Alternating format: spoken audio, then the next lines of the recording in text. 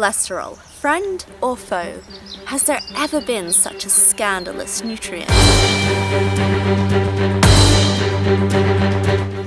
Today, I am speaking up in the defense of cholesterol.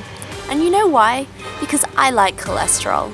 Cholesterol isn't evil, it isn't vitamin C's evil dark twin. Without cholesterol, we wouldn't be here. Tell you what, without cholesterol, we would all be dead. It should suffice to say that not only does our liver produce the cholesterol we need, but our body, our very intelligent body, has been equipped in every single cell with the ability to synthesize its own cholesterol. Here's why. Cholesterol helps to regulate membrane fluidity. Basically, in every cell, there is a membrane that encapsulates it. Now, this membrane is affected by the foods we eat. The more unsaturated fats we have, the more fluid our membrane will be. The more saturated fats we eat, the harder this membrane could become. Luckily, we have cholesterol that rescues the situation every time. It is the master regulator. It will ensure that your cellular membrane is at exactly the right fluidity. Cholesterol plays a vital role in creating those delightful differences that make women women and men men. And that's the sex hormones. Cholesterol is the building block for estrogen and progesterone as well as testosterone. Where would we all be without cholesterol? Cholesterol is also the building block for stress hormones, the ones that are produced by your adrenal cortex. One of these hormones is aldosterone. Aldosterone is responsible for regulating fluidity and water balance in your body. Another stress hormone is cortisone. Cortisone helps to regulate glucose metabolism so that if you need to fight, you have the glucose to do so. Isn't it wonderful? Cholesterol is amazing. Here's another interesting fact about cholesterol. You know all the hype around vitamin D? Well, before that, get to the building block of vitamin D cholesterol. It is cholesterol in your skin that is transformed through the UVB rays that touch your skin into vitamin D. This means that cholesterol is essential for your bone health, it is essential for your sexual health, your mental health. Oh, and Let's mention digestion. Bile acids secreted by the liver are produced from cholesterol.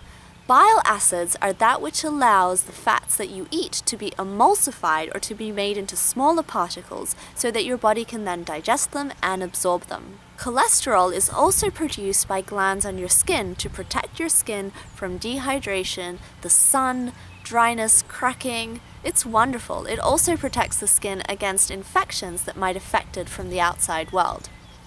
So why has cholesterol received such bad publicity? Think of it like this. You get to a crime scene and you see that the police is there. You go to another crime scene and you see that the police is there. And all of a sudden you start making that mental association that makes you think, haha, it is the police that are committing the crimes. This is pretty much how cholesterol has received its bad reputation. In cases of atherosclerosis, cholesterol has always been found present on the crime scene. Well, let's see it this way. When there is damage done in the arteries, we have other nutrients that arrive before cholesterol. Some of these nutrients are minerals such as calcium, which can be very hard. Now, as they deposit inside the arteries and red blood cells float along, the risk is that the red blood cells get cut by these calcium molecules. So cholesterol, which instead is waxy and soft, comes to the rescue, to the best of our body's intelligence and places it on top of these sharp calcium ridges. This means that there's a nice cushion along which the red blood cells can float along in the arteries without being damaged. Isn't that wonderful? Well, why then are so many people still terrified of cholesterol? Could it be part of this disgusting marketing gimmick that has been used by margarine companies and vegetable oil companies to publicize their products as cholesterol free. It is disgusting what they do. Have you any idea how margarine is produced? Trust me, no one would want to eat margarine if it was actually presented to you the way it looks and smells after it's undergone its processing.